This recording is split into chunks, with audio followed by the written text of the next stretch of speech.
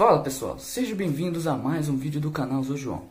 E as corujas pessoal são aves incríveis, lindas e misteriosas. E existem várias espécies de diferentes tamanhos e gêneros. Mas nesse vídeo eu vou falar sobre a coruja cinzenta. Você já conhece a ave?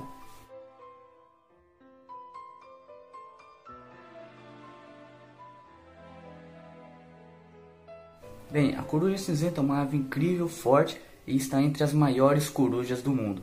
Então já deixe seu like e se inscreva no canal, pois eu irei apresentar para vocês algumas curiosidades sobre essa magnífica ave. Então vamos conhecê-la agora. A coruja cinzenta, ou coruja lapônica, é uma coruja grande, documentada como uma das maiores corujas do mundo. Ela está distribuída por todo o hemisfério norte e é a única espécie do gênero Strix encontrada nos hemisférios oriental e ocidental. Nas áreas do norte, seu habitat de reprodução costuma ser as densas florestas de coníferas de taiga, perto das áreas abertas como prados ou pântanos. Elas se reproduzem na América do Norte, desde o extremo leste de Quebec até a costa do Pacífico e do Alasca, e da Finlândia e Estônia até o norte da Ásia.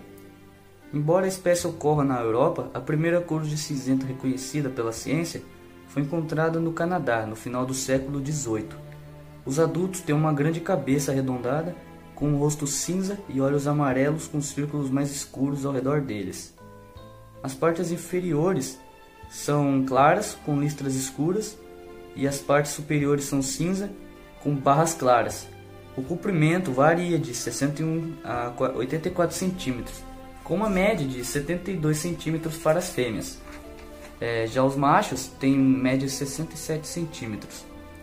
A envergadura pode exceder é, 1,52m de comprimento, mas a média de 1,42m para as fêmeas e 1,40m de envergadura para os machos. O peso dos adultos varia de 580 a 1900 gramas, com média de 1290 gramas para fêmeas e 1000 gramas para os machos. Os machos geralmente menores que as fêmeas, como ocorre a maioria das outras espécies de corujas. O chamado dos adultos é uma série de uivos muito profundos e rítmicos que geralmente são dados em correção com seus territórios ou sem interações com seus descendentes. Esses pássaros esperam, ouvem e perseguem a presa, depois descem. Eles também podem voar baixo através das áreas abertas em busca das presas. As corujas cinzentas dependem quase totalmente de pequenos roedores. No norte do Canadá e outras partes da Escandinávia, elas comem principalmente de lemíngues. Nas regiões áridas da Serra Nevada, na Califórnia, elas se alimentam de esquilos, geralmente compreendendo menos de 20% da eh, ingestão de presas. Elas incluem lebres, toupeiras, musaraños, doninhas, pequenos falcões e até patos.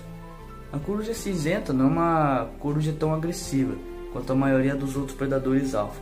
Com exceção, a fêmea é agressiva na proteção dos ovos e das corujinhas.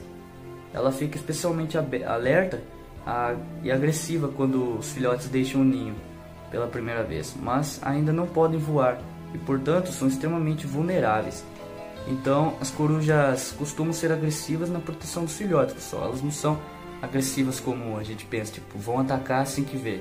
Bem, algumas aves, né, como o casuar, avestruz, vão atacar a gente porque é a, é a, maneira que eles se defendem, né? Eles vão atacar para proteger o território ou os filhotes, ou até mesmo o alimento, né? Bem, pessoal, a coruja cinzenta é uma ave incrível e fantástica. Eu mesmo queria ver uma de perto, pois ela é, é curiosa e bem bonita. Então, se vocês gostaram de conhecê-la, deixa seu like, se inscreva no canal e compartilhe com seus amigos, beleza? Toda semana um vídeo novo sobre animais e a vida pré-histórica. Ah, eu tô pensando em fazer um especial de Natal, pessoal. pessoal com um animal que vocês deixarem nos comentários mais incrível e curioso, eu vou fazendo um especial de Natal, beleza? Então pessoal, até o próximo vídeo aqui do Zojo. Fui!